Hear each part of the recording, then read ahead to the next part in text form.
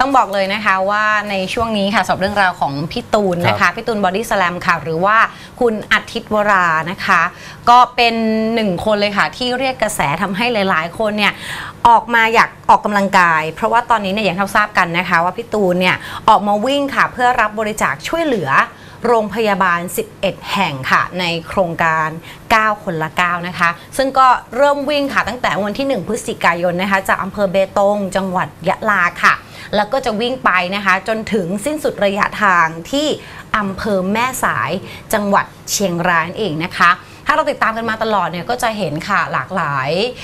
น้ำใจจากหลาย ๆ คนนะคะ ที่มารอพี่ตูนตลอดสองข้างทาง ทั้งยอดเงินบริจาคที่ตอนนี้เนี่ยเพิ่มขึ้นเรื่อย ๆ เลยนั่นเองนะคะ แต่ก็มีหลาย ๆ คนค่ะ เกิดคำถามขึ้นเกี่ยวกับการวิ่งในครั้งนี้ ไม่ว่าจะเป็นทั้งเรื่องสุขภาพของพี่ตูนเอง รวมไปถึงเรื่องเกี่ยวกับการวิ่งค่ะ ล่าสุดนะคะทางกรมอนามัยค่ะก็ออกมาตอบคำถามให้ประชาชนเนี่ยโดยการทำโปสเตอร์ต่างๆ ออกมาวิ่งเอ่อออกมาให้เราได้ดูกันนั่นเองนะคะ ซึ่งวันนี้ค่ะครับเราก็หยิบคำถามนะคะที่แล้วก็คำตอบมาพูดคุยกันด้วยครับว่าเรื่องราวของการวิ่งจริง ๆ แล้วเนี่ยมันมี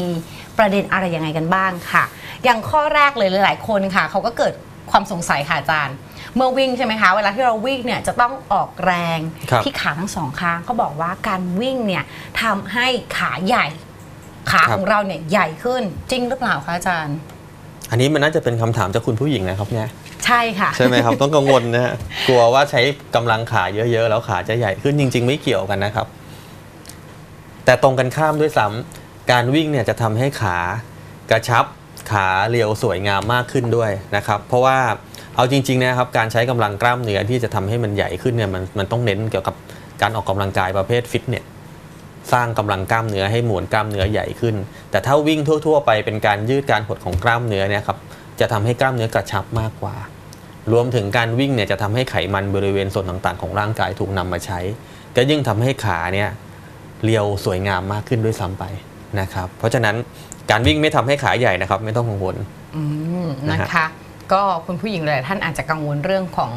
สรีระคขรัอบงผมช่วงขาเองนะคะครัแต่บคุณผู้ชายหลาย ๆ คนอาจจะชื่นชอบ ครับผมเพราะว่าขาเนี่ยจะได้ดูเอ่อแข็งแรงครับใช่ไหมคะ ครับซึ่งตอบคำถามข้อแรกไปแล้วนะคะว่าการวิ่งไม่ทำให้ขาใหญ่ขึ้น ครับ แต่ในทางกลับกันขาจะทำให้มีกล้ามเนื้อมากยิ่งขึ้นมากกว่าใช่ไหมใช่คะ ครับ จะทำให้กล้ามเนื้อเป็นมัดสวยงามเรียวงามมากมากขึ้นด้วยกระชับอะประมาณนั้นค่ะนะฮะรวมไปถึงค่ะ การวิ่งมีคำถามอีกนะคะ ว่าการวิ่งเนี่ย วิ่งแล้วจะทำให้ผอมลงใช่หรือเปล่าคะอันนี้แน่นอนครับ แน่นอนเพราะว่าถามว่าการความอ้วนของคนเรามันเกิดจากไขมันใช่ไหมครับ ไขมันมันไปพอกตามส่วนต่างๆ ก็อย่างที่กล่าวไปว่า ถ้าเราวิ่งเราออกกำลังกาย ร่างกายก็จะใช้ออกออกกำลังกายถึงระดับหนึ่งถึงระดับที่เผาผลาญร่างกายจะดึงพลังงานจากไขมันมาใช้นะครับ พอร่างกายดึงระดับ ดึงไขมันตามส่วนต่างๆ ของร่างกายมาใช้ก็จะทำให้เราผอมลงไปด้วย นะครับผอมลงตามไป อันนี้ใช่แน่นอนนะครับอืมนี่นะคะใช่แน่นอนค่ะ ดังนั้นใครอยากจะเริ่มต้นการลดความอ้วนนะครัคะบออกกำลังกายง่าย ๆ ก็คือการวิ่ง ใช่ครับ แต่อย่าลืมว่าต้องควบคุมกับการรับประทานอาหารด้วยนะครับ คือต้องรับประทานอาหารที่ไม่มาก หรือว่าไม่น้อยเกินไปนะครับ แล้วก็อย่าเน้นอาหารที่มันเป็นไขมันทานอาหารที่มีโปรตีนเยอะๆ ก็จะทำให้ร่างกายเราไม่อ้วนนะครับ คือหุ่นดีว่างั้นเถอะนะครับอืมนะคะ มาต่อกันค่ะสำหรับเรื่องของการวิ่งคราวนี้เกี่ยวกับเรื่องของหัวเข่าครับแล้วก็ข้อค่ะเขาบอครักบว่าวิ่งแล้วเนี่ยทำให้หัวเข่าและข้อเสื่อมจริงหรือเปล่าคะอาจารย์ ต้องบอกอย่างนี้ก่อนครับ ถ้าถ้าคนทั่ว ๆ ไปที่ไม่ได้เป็นเข่าเสื่อม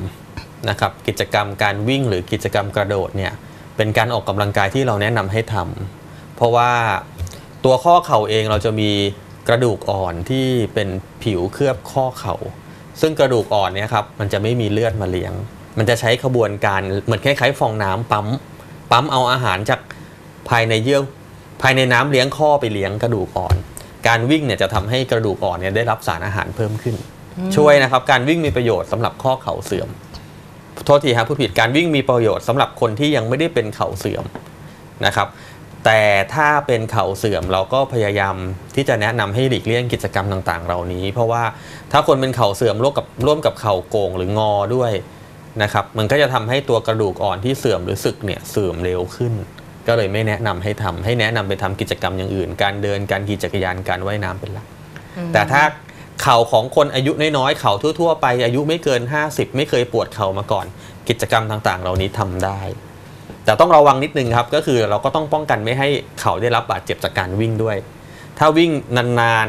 ๆวิ่งเป็นประจำรองเท้าวิ่งนี่สำคัญแล้วก็เน้นในเรื่องของรองเท้าท่าทางการวิ่งอย่าวิ่งแล้วมีการระวังไม่ให้เกิดการบิดของข้อหรือข้อเท้า หรือพัดตกหกล้ม ซึ่งมันจะบาดเจ็บของข้อเท้าและเข่าตามมานะครับแต่ว่าถ้ารองเท้าดีมีการป้องกันที่ดีแล้วก็ทำได้ตามปกติเลย ดังนั้นเนี่ยใครที่มีความกังวลครับว่าถ้าเกิดอยากจะออกกำลังกายโดยวิ่งแล้วเนี่ยจะกลัวจะมีปัญหาเรื่องของหัวเข่า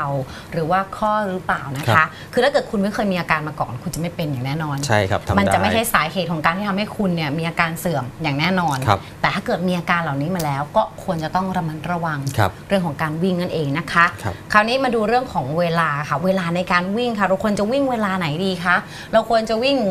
หลังจากตื่นนอน หลังจากเลิกงานหรือว่า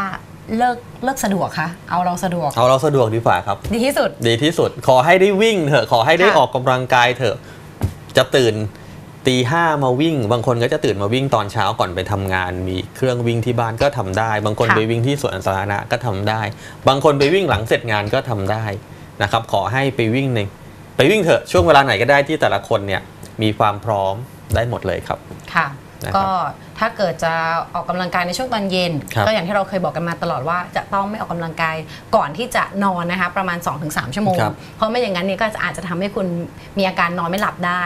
ก็สำหรับใครที่อยากจะเลือกเวลาวิ่งก็คือเวลาไหนก็ได้ได้หมดนะได้คะตขลออดให้เตรียมตัวให้พร้อมละกันครับไม่ใช่ว่าอุ้ยอยากจะวิ่งตอนนี้เดี๋ยวนี้ แต่ไม่มีรองเท้ามีแต่รองเท้า แต่ไม่มีเสื้อผ้าไม่มีความพร้อมด้านอื่นๆแต่อยากครับวิ่ง อันนี้ก็ไม่ไม่แนะนำใช่ครับ ก็วิ่งเมื่อไหร่ก็ได้แต่สิ่งที่สำคัญคือความสม่ำเสมอของการออกกำลังกายค่ะของการวิ่ง 3-5 ครั้งต่อสัปดาห์อันนี้คือความสม่ำเสมอ ถ้าทำแล้วก็ทำให้เป็นกิจวัตรประจำวันก็จะได้ประโยชน์กับร่างกาย นะครับนี่นะคะ ก็คือเรื่องของความสม่ำเสมอนั่นเองนะคะ คราวนี้มาดูเรื่องของความเหนื่อย เชื่อว่าหลาย ๆ คนพอวิ่งไปเรื่อย ๆ แล้วเนี่ยก็จะรู้สึกเหนื่อย บางคนเหนื่อยแล้วอาจจะหยุดเลย ครับแต่บางคนจะรู้สึกว่าเนี่ยแหละ ถ้าเหนื่อยอีกนิดนึง มันจะดีขึ้นหรือเปล่า มันจะได้เป็นการออกกำลังกายมากขึ้นหรือเปล่า เหนื่อยแค่ไหนเราควรหยุดวิ่งคะอาจารย์ อ่าถ้าเราใช้พลังงานเยอะ ๆ สิ่งที่จะเกิดขึ้นกับร่างกายก็คือหัวใจก็จะทำงานหนักขึ้น นะครับพอทำงานหนักหัวใจก็จะเต้นเร็ว คราวนี้อัตราการเต้นของหัวใจ มันก็จะมีตามช่วงอายุ แต่ละช่วงอายุไม่ไม่เท่ากัน เช่น เราออกกำลังกายถ้าอายุยังน้อย เช่น อายุไม่เกิน 30 อย่างเงี้ยครับเราก็ยอมให้หัวใจเต้นได้ประมาณสักร้อยห้าสิบร้อยหกสิบครั้งต่อนาที แต่ถ้าอายุ 40 ไปแล้วเราก็ลดลงมาที่ 144 เพราะฉะนั้นอันดับแรกเลยก็คือว่าถ้าถ้าหัวใจถ้ามีเครื่องวัดนะฮะอย่างเช่นถ้ามีลู่วิ่ง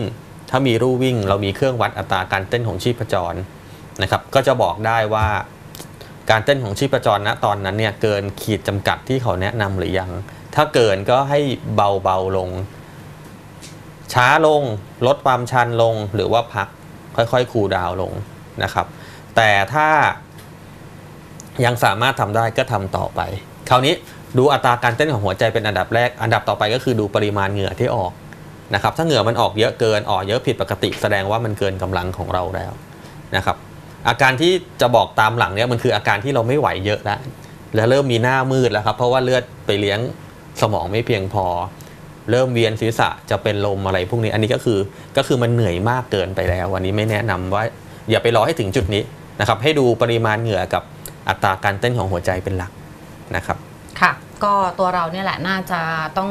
รู้ที่สุดเลยนะคะว่าครับเราไหวแค่ไหน ใช่ครับถ้ามันเหนื่อยจนเกินไปแล้วเนี่ยมันอาจจะทำให้คุณเป็นอันตรายมากกว่า ครับและสุขภาพที่แข็งแรงนะคะ อีกหนึ่งเรื่องเลยค่ะนั่นก็คือการวิ่งซึ่งหลาย ๆ คนเนี่ยด้วยไลฟ์สไตล์ที่เปลี่ยนไปนะคะ ก็จะหันมาเลือกวิ่งในฟิตเนสมากยิ่งครับ ขึ้นนะคะ เขาบอกว่าระหว่างการไปออกไปวิ่งในที่สวนสาธารณะด้านนอกเนี่ยกับการวิ่งบนลู่วิ่งค่ะ ครับ มันเหมือนหรือว่าต่างกันยังไงคะประโยชน์ที่ได้รับ ได้เท่ากัน ได้เท่ากันนะครับ ให้ดูอัตราการเต้นของชีพจรที่ได้ได้ได้บอกไปเมื่อสักครู่เป็นหลักนะครับ ถ้าวิ่งลู่วิ่งหัวใจเต้นเพิ่มขึ้น สมมติเพิ่มขึ้นมา คนปกติเต้นไม่เกินร้อยเราเพิ่มมา 144 เสียพลังงานได้พลังงานเท่านี้ก็เท่านี้ ไปวิ่งข้างนอก แล้วหัวใจเต้นขึ้นมาที่ 144เท่าๆกัน อันนี้คือได้ประโยชน์เท่ากัน อันนี้เมื่อมองอัตราการเต้นของหัวใจนะครับ แต่ ถ้ามองระยะเวลาหรือความยากง่ายเนี่ยการไปวิ่งข้างนอกเนี่ยทำได้ยากกว่าการวิ่งบนลู่วิ่ง ด้วยเหตุผล 2 ประการค่ะนะครับประการแรกก็คือบทวิ่งบนลู่อะครับเราไม่มีแรงต้านของลม แต่การวิ่งข้างนอกเนี่ยเรามีแรงเสียดทานของลมมาต้าน เพราะฉะนั้นก็จะใช้พลังงานเยอะนะครับ ในระยะทางที่เท่ากัน อันอย่างที่สองก็คือการวิ่งบนลู่วิ่งเนี่ยครับลู่วิ่งมันเป็นตัวขยับเราอยู่นิ่ง ในขณะที่เราวิ่งข้างนอกเนี่ยเท้าเราต้องถีบพื้นเพื่อดันตัวไปข้างหน้า อันนี้ก็จะใช้พลังงานมากกว่านะครับ เพราะฉะนั้นถามว่าประโยชน์ที่ได้ ได้เท่าๆกัน ถ้าดูการเต้นของหัวใจเป็นหลัก แต่ถ้าดูระยะเวลาสมมติเราออกกำลังกาย 15 นาที วิ่งในลู่วิ่งกับวิ่งข้างนอก การวิ่งข้างนอกได้ประโยชน์มากกว่าอืมนะครับเพราะว่าตัวเครื่องรูวิ่งเนี่ยช่วยทดชดเชยบางอย่างที่ทำให้เราไม่ต้องเสียพลังงานมากไปนะครับค่ะ ก็ยังไงถ้าเกิดใครที่ตัดสินใจจะวิ่งแล้ว ครับ ก็ลองเลือกดูแล้วกันว่าถ้ามีโอกาสไปวิ่งด้านนอกได้ ครับ ก็ดี แต่ถ้ามันไม่มีเวลาจริง ๆ แล้วก็สะดวกที่จะวิ่งบนลู่วิ่งในฟิตเนสมากกว่านะคะก็เป็นอีกหนึ่งทางเลือกที่เราสามารถเลือกได้นั่นเองนะคะหนึ่งคำถามสุดท้ายเลยค่ะ ว่าการวิ่งแค่ไหน ครับวิ่งแค่ไหนถึงจะเรียกว่าทำให้เราสุขภาพดีคะอาจารย์ สำหรับคนที่ยังไม่เคยออกกำลังกายเลยนะครับ แล้วเห็นพี่ตูน เริ่มก้าวคนละก้าวเริ่มมีกิจกรรมการวิ่งนะครับก็ให้เริ่มต้นไม่ต้องมากก่อน เอาเอาพอดีพอดีแล้วก็แนะนำให้เริ่มวิ่งสัก 10 นาทีต่อครั้งก่อนนะครับ แล้วก็วิ่งไปสักระยะหนึ่งอาทิตย์หนึ่งผ่านไป ก็ค่อยๆเพิ่ม จนตัวเองเนี่ยสามารถวิ่งได้ประมาณอย่างน้อยอย่างน้อย 30 นาทีต่อครั้ง และ 1 สัปดาห์เนี่ยเราควรแนะนำให้ทำประมาณ 3-5 ครั้งต่อสัปดาห์ ถ้าได้ 5 ครั้ง 5 วันต่อสัปดาห์นี่ถือว่าดีมากนะครับ อันนี้ก็ ค่อยๆว่ากัน แล้วหลังจากนี้จะวิ่งให้มันมากกว่านี้ ก็แล้วแต่สภาพของร่างกายแต่ละคนและแต่ความแข็งแรงทำเพิ่มเติมได้เลยครับค่ะแต่อย่างน้อยๆให้ดีก็คือให้ 30 นาทีต่อวันเป็นอย่างน้อย สัปดาห์หนึ่งให้ทำสามถึงห้าวัน อันนี้เป็นเกณฑ์ขั้นต่ำนะครับ แล้วก็ทำเพิ่มได้ตามกำลังของแต่ละคนก็จะ ช่วยให้เรามีสุขภาพที่ดีได้ ค่อยๆเพิ่มนะคะเริ่ครัมบต้นเนี่ยจะเริ่มน้อยๆก่อนแล้วเราครับก็ค่อยๆ เพิ่มตามสภาพร่างกายของเราที่รับไหวครับผมอย่างที่บอกว่าต้องไม่เหนื่อยจนเกินไปด้วยนั่นเองนะคะเพราะไม่ไม่อย่างนั้นเนี่ยอาจจะอันตราย อย่างการวิ่งมาราธอนเป็นต้นเนี่ยครับไม่ว่าคุณจะเลือกระยะทางกี่กิโลเมตรก็ตามครับจะต้องมีการฝึกซ้อมก่อนใช่เพครับราะไม่งั้นร่างกายเนี่ยถูกจะต้องรับไม่ไหวจถูริงกต้องๆนะคะ แล้วเราต้องพักผ่อนให้เพียงพอค่ะและประทานอาหารให้ ให้เพียงพอให้ถูกต้องนะครับก็จะทำให้การออกกำลังกายของเรานี้ได้ผลผลที่ดีขึ้น ใช่แล้วค่ะ แล้วก็นี่ก็เป็นคำถามนะคะ พร้อมด้วยคำตอบนะคะ ที่นำมาฝากกันค่ะที่หลาย ๆ ท่านเนี่ยอาจจะอยากทราบเกี่ยวครักับบเรื่องของการวิ่งนะคะ ซึ่งทางกรมอนามัยก็มีคำถามต่าง ๆ มีคำตอบต่าง ๆ มาบอกเราด้วยนะคะ รวมไปถึงในรายการของเราด้วยค่ะ กับพบหมอรามานเองนะคะ เชื่อว่าคุณผู้ชมหลาย ๆ ท่านก็ติดตามครับโครงการ 9 คนละ 9 นะคะ ของพี่ตูน ต้องาจารย์ชื่นชมเลยนะคอารับจารย์ติดตามผมบ้างติดตามหรือเปตล่าลอดเลยครับเป็นยังไงผบ้างมว่าคะสิ่งที่พี่ตูนทำเนี่ยได้ประโยชน์ทั้งหนึ่งก็คือร่างกายก็แข็งแรงนำให้คนทั้งประเทศเนี่ยเน้นการออกกำลังกายเราถือว่าเป็นการป้องกันโรคมาออกกำลังกายกันมาป้องกันโรคในอีกมุมมองหนึ่งในอีกส่วนหนึ่งก็จะมีคนมาบริจาคกับกิจกรรมอันนี้ค่ะนะครับ โรงพยาบาล ก็ได้ประโยชน์จากการทำกิจกรรมของคุณตูน แล้วค่ะสุดท้ายเลย ก็พี่น้องประชาชนชาวไทยนี่แหละครับ ที่มีความเจ็บป่วยไปใช้บริการโรงพยาบาลก็ได้ประโยชน์ เพราะฉะนั้นเป็นกิจกรรมที่ดีมากทุกคนก็มาช่วยกัน ใช่แล้วนะครัค่ะบถ้าเกิดใครได้ดูสัมภาษณ์ของพี่ตูนเนี่ยนะคะพี่ตูนบอกว่าครับถ้าเกิดใครมีเอ่อมีกำลังทรัพย์จะบริจาคก็สามารถร่วมบริจาคได้หลากหลายช่องทาง แต่ถ้าเกิดใครไม่มีกำลังทรัพย์นะคะ ที่จะบริจาคสิ่งหนึ่งที่พี่ตูนขอก็คือขอแค่ ให้ดูแลสุขภาพถูกร่างกายต้องของตัวเองให้แข็งแรงค่ะ เพื่อที่คุณเนี่ยจะได้ไม่ต้องมาครับหาคุณหมอครับพอคุณไม่ต้องมาหาคุณหมอใช่ไหมคะ คุณหมอเนี่ยก็จะได้ไปดูแลคนไข้ที่มีความจำเป็นมากครับๆในการที่จะต้องได้รับการดูแลจากทางแพทย์นั่นเองนะคะ สิ่งที่พี่ตูนขอคือน่ารักมาก ๆ แล้วก็ง่ายมาก ๆ เลยค่ะ ซึ่งตอนนี้นะคะเรามีการอัปเดตล่าสุดเลยค่ะ กับการวิ่งของพี่ตูนนั่นเองนะคะ ซึ่งตอนนี้วิ่งมาแล้วทั้งหมด 11 วันด้วยกันนะคะครับ แล้วก็ตอนนี้ได้ยอดไปนะคะ 200 ล้าน 214 ล้าน 6 6 6 9 9 3 บาทนั่นเองนะคะครับซึ่งยอดนี้ก็จะเอ่อขึ้นเรื่อยๆ ที่สำคัญนะคะ ยอดที่พี่ตูนเขาตั้งใจเอาไว้เนี่ยครับพี่ตูนบอกว่าเป็นยอดที่เขาตั้งใจแบบความฝันก็คือ 700 ล้านบาทนั่นเองนะคะครับคิดจากง่ายๆว่าอะคนไทยมีประมาณ 70 ล้านคนครับ คนละ 10 บาท 10 บาทเนี่ยอาจจะไม่สามารถเอาไปทำอะไรประโยชน์ได้ แต่ถ้าเกิดเอาจำนวนเงินน้อยๆ มารวมกันให้มันเยอะครับมันสามารถทำประโยชน์ได้เยอะมากๆเลยนั่นเองนะคะ